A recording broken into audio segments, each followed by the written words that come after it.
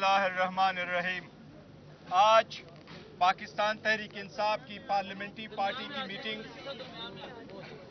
آج parliament house میں پاکستان تحریک انصاف کی پارلیمنٹری پارٹی کی میٹنگ ہوئی۔ اس میں ہمارے منی صاحبان نے شرکت کی۔ اس میں ہمارے سینیٹر صاحبان اور leader of the opposition in the senate Shibli صاحب نے بھی شرکت کی۔ اس میں ہمارے اتحادی جلامہ علامہ ناصر صاحب ایم ڈبلیو ایم کے چیئرمین شریک ہوئے، اس میں سنی اتحاد کے چیئرمین حامد رضا صاحب بھی شریک ہوئے۔ آج ہم نے متفقہ طور پر امپارٹنٹ فیصلے کیے ہیں۔ سب سے پہلا فیصلہ ہمارا یہی ہے کہ سپریم کورٹ میں جو اڈہاک ججز کو لگایا جا رہا ہے، ہم سمجھتے ہیں کہ یہ بدنیتی پہ منحصر ہے۔ اس کی سمری اس وقت منہ کی گئی جب سپریم کورٹ نے پی ٹی آئی کے حق میں ایک فیصلہ دیا۔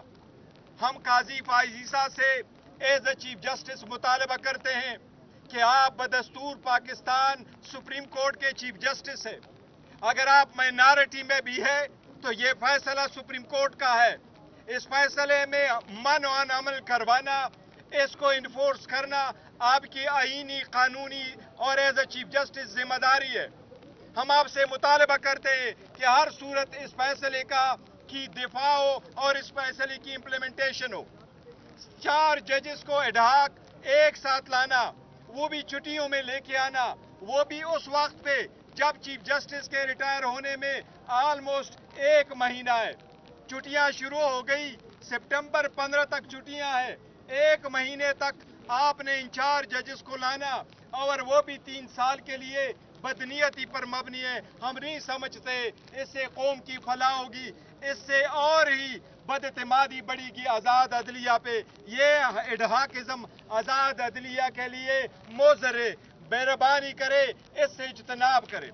آج ہمارے leader of the opposition in the senate Shibli Faraz صاحب کی طرف سے اور آج ہمارے leader of the opposition in the national assembly, Omar Ayub صاحب کی طرف سے ہم سارے ریزرویشن انشاءاللہ تعالی لکھ کر سپریم جوڈیشل کونسل میں ہم بھیج رہے ہیں کہ ان کو مد نظر رکھتے ہوئے ایسے اقدامات سے آپ گریز کریں۔ ججز اس انیشل ابتدا سے ان کو متنازعہ برائے مہربانی نہ بنائے۔ یہ وقت ایسے ڈیسیجن لینے کا نہیں ہے۔ اس یہ وقت ہے سپریم کورٹ کے ایک اہم فیصلے کو امپلیمنٹ کرنے کا۔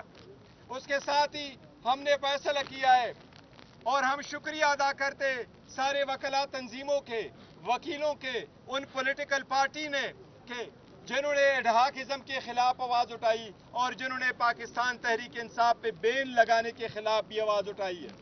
پاکستان تحریک انصاف ستر فیصد پاکستانیوں کی ترجمان ترجمان جماعت ہے اس پہ کوئی بھی پابندی حکومت کے ختم ہونے کی طرف کاؤنٹ ڈاؤن ہوگا۔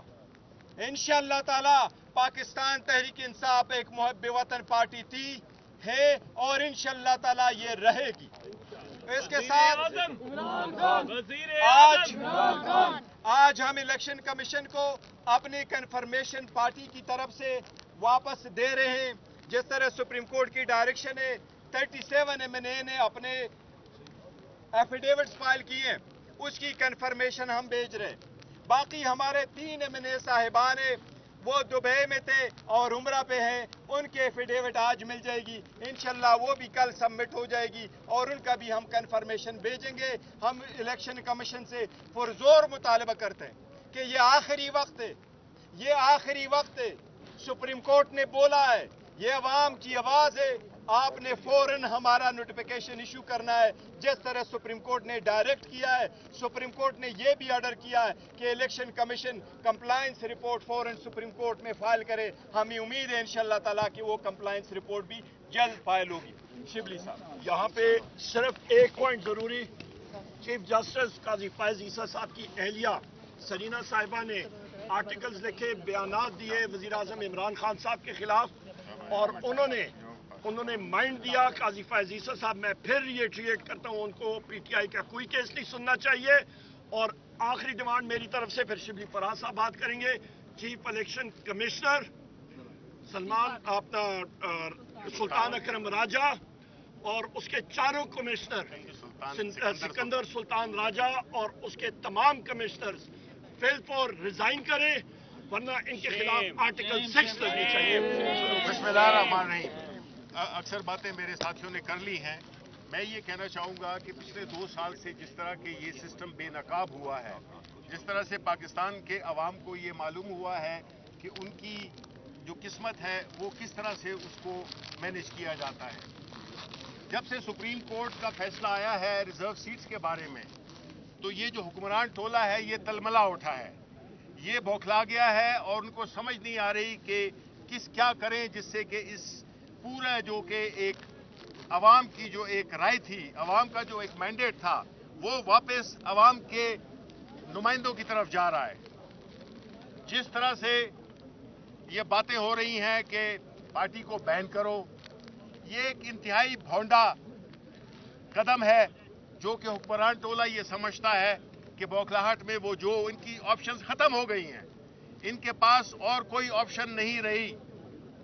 جس طریقے سے آئین اور قانون کو جوتے کی نوک پہ رکھا جا رہا ہے، جس طرح سے آئین شکنی ہو رہی ہے، جس طرح سے کہ ادارہ جاتی پستگی کا مظاہرہ ہو رہا ہے، اس سے یہ ملک آگے نہیں جا سکتا، یہ صرف نیچے ہی جا سکتا ہے۔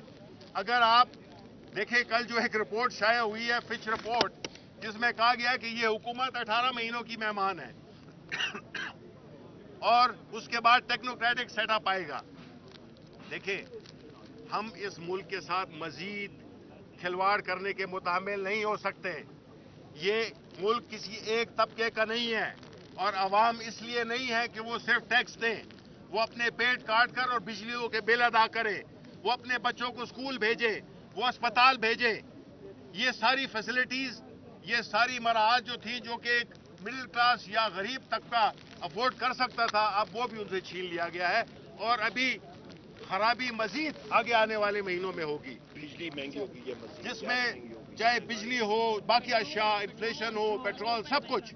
یہ ناممکن بنا رہے ہیں پاکستانی عوام کے جینے کو۔ اور میری ریکویسٹ ہوگی جو بھی صحافت سے منسلک ہے وہ ان چیزوں کو دیکھیں یہ آنے جانے وقت ہے اس میں صرف سیٹھوں کی بات نہ سنیں۔ عوام کی نمائندگی کرے عوام کے مسائل کو آگے کرے اجاگر کرے معذرت۔ اس لیے یہ چاہیے کہ جو اس وقت ہو رہا ہے، ہم اس کے لیے پاکستان تحریک انصاف ایک سیسا پلائی ہوئی دیوار بن کے کھڑی ہوگی۔ ہمارے لوگ مختلف چیزیں دیکھ چکے ہیں۔ وہ چیزیں جو کہ اس ملک میں کبھی نہیں دیکھی تھی ہم نے اپنے مینڈیٹ کا جو حال ہوا اس کو دیکھا۔ الیکشن کمیشن آف پاکستان جو کہ ایک فریق بن گیا ہے۔ اور میں تائید کرتا ہوں اپنے سیکرٹری جنرل صاحب کی اور چیئرمین صاحب کی کہ اس کو اپنے چاروں ممبران کے ساتھ استعفی دینا چاہیے بیکاز وہ ثابت ہو گیا ہے کہ وہ پارٹی ہے۔ وہ ایک نیوٹرل نہیں ہے۔